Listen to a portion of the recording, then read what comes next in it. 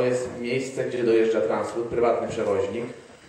Do szkoły w Zegrem dojeżdża Z-bus, kolejny prywatny przewoźnik, który przez Zegrze y, ma...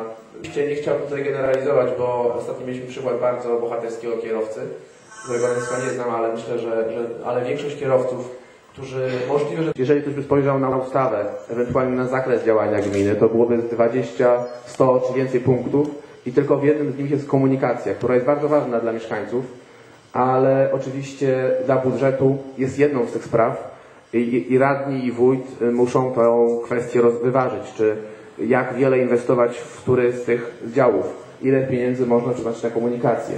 Następną blokadą, która jest problemem, to, to jest wysokość dotacji, które tak postulowany ZTM potrzebuje.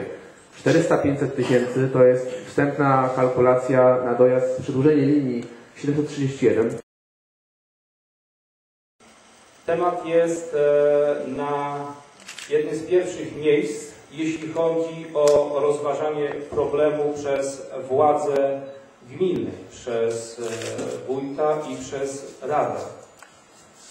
Tutaj e, kolega prezes powiedział o kilku uwarunkowaniach, które mają wpływ na możliwość rozwiązania lub brak tej możliwości w bardzo krótkim czasie. Pozwolę sobie je jednak mimo wszystko przypomnieć.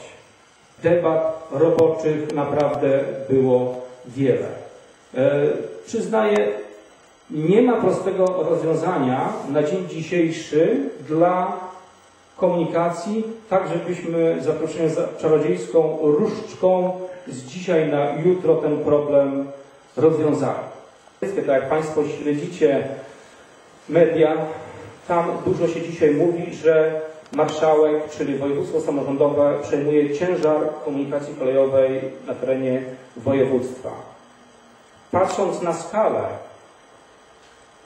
tych zadań, myślę, że nie muszę długo tłumaczyć Państwu, że problem jest szerszy i gmina Wieliczew pojedynkę, jeśli nie załatwimy tematu problemu komunikacji systemowo, to gmina Wieliczew pojedynczo sama sobie tego tematu, tego problemu nie rozwiąże, chyba że, tak jak spotykaliśmy się z propozycjami, kosztem dużej kasy. Chciałbym, żebyśmy dzisiejszą dyskusję w takim duchu prowadzili. I wtedy na pewno to rozwiązanie będzie prostsze, będzie je łatwiej wygenerować. Na rozwiązania systemowe potrzeba czasu. Bo, tak jak powiedziałem, sami tego nie zrobimy. Podejmujemy w tej chwili współpracę z miastem, podejmujemy współpracę z Urzędem Marszałkowskim i któraś z tych kolejnych roboczych rozmów, myślę, będzie nas przybliżała do konkretnych rozwiązań.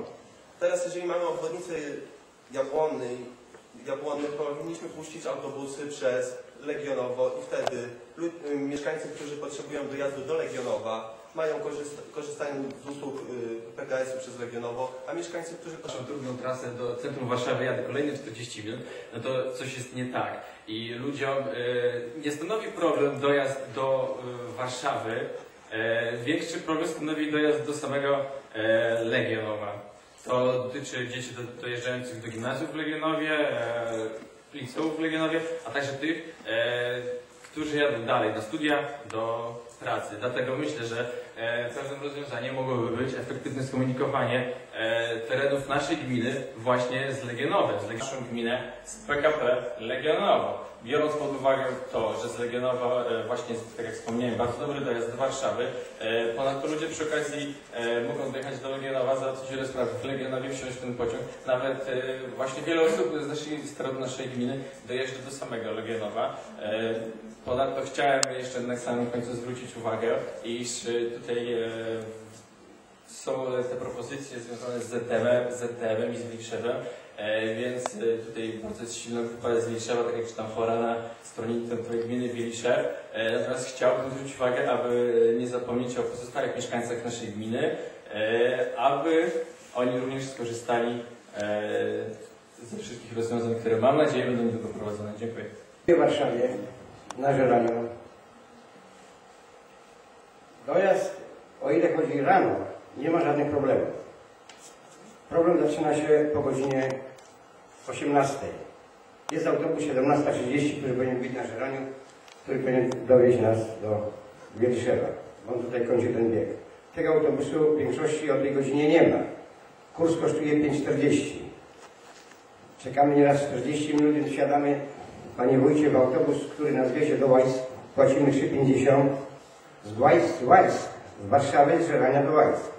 Z Łajsk kolei płacimy 3,60 do Wieriszewa. Y, bezpośrednie jakieś, no nie wiem, nie, może, nie można robić coś takiego, że jeden autobus jedzie o danej godzinie i obsługuje wszystkie tereny w całej gminie, bo on będzie wjeżdżał i w tą uliczkę i w tamtą. Te kursy powinny być szybkie.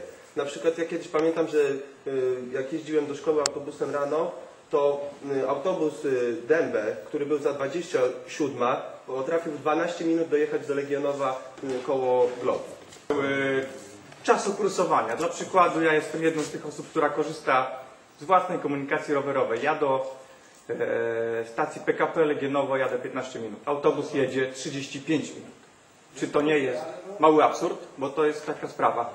E, druga sprawa. Autobusy zahaczają, jeżeli chodzi o PKP, PKS, przepraszam najmocniej, e, o osiedle młodych w Legionowie. Czy to jest sens?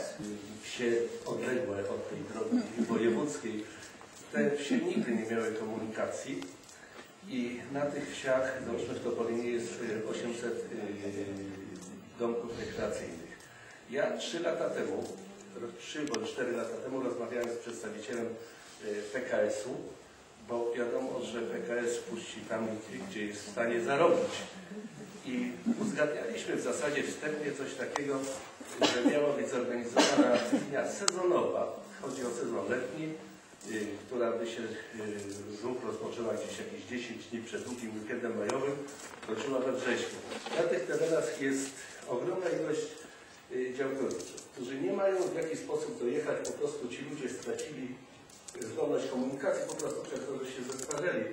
Y, Ponadto bardzo dużo ludzi chciałoby w te tereny przyjechać i y, rozmawialiśmy o tym, że miał być to autobus, który jedzie z Warszawy, y, jedzie przez Ale czy nie należało się, a może już było y, rozważane, żeby wpuścić jakiegoś prywatnego y, przewoźnika, który byłby konkurencją dla y, PKS-u? miesięczny na PKS, na jakąś dodatkową linię, bo możemy wpuścić dodatkową linię, no ale to będzie powiedzmy 5 kursów. I jeżeli ktoś na przykład wraca w innej godzinie niż ten dodatkowy kurs pry, linii prywatnej, no to niestety będzie musiał kupować bilet, a jeszcze oprócz tego będzie musiał mieć bilet na przykład y, PKS-u. To są po prostu za duże kwoty. Chodzi o to, żeby bilet miesięczny był w przystępnej cenie i żebyśmy mieli częste połączenia. taką sytuację, już tutaj e, Pan wcześniej wspominał o tym, iż na wodociąg można dojechać e, o godzinie 22 z Legionowa. No ja dodam, iż do Skrzyszewa można dojechać ostatnim autobusem o 19.20. E, także o wiele wcześniej, później e, nie ma innej możliwości. Nie, w niedzielę jest. Kiedyś był autobus e, nawet od 20.40, no natomiast obecnie zostawił 19.20. Do Urzędu Gminy musiałoby spłynąć najlepiej w formie jakichś ankiet z poszczególnych miejscowości. Ile osób dojeżdża do, na przykład do Warszawy, na którą godzinę? Czy to jest młodzież ucząca się, czy to ludzie jadą do pracy? I albo też postawić pytanie, czy skorzystałbym z komunikacji miejskiej, jeżeli byłaby ona, powiedzmy, jakaś tam oferta przewozowa i zostawiłbym samochód w domu. Także e, określimy dokładnie, jakie są potrzeby przewozowe e, mieszkańców. I to są działania długofalowe, które już jak gdyby powinna, tutaj władze gminy powinny je stopniowo, mam nadzieję, szybko realizować. Natomiast e, działania doraźne. Przede wszystkim z głosów Państwa tutaj wynika, że jest potrzebna dobra oferta przewozowa między Legionowym a Wieliszewem, czyli na krótkiej trasie, ale więcej autobusów, że ponieważ do Legionowa dojeżdża zarówno linie ZTM, jak i pociąg, to jakaś możliwość przesiadki, a nie czekać e, na autobus, który jeździ co godzinę.